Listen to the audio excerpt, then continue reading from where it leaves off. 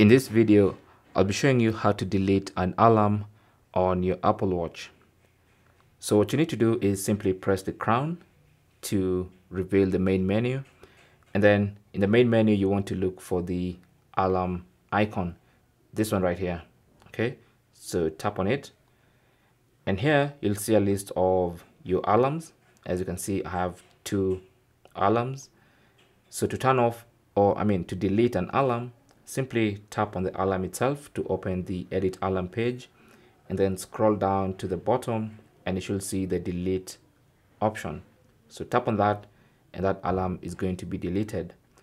You can do this for other alarms. So just tap on the alarm and then scroll to the bottom and select delete.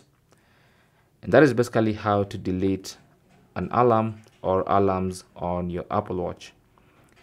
Thanks for watching. Leave your comments and questions down below and good luck.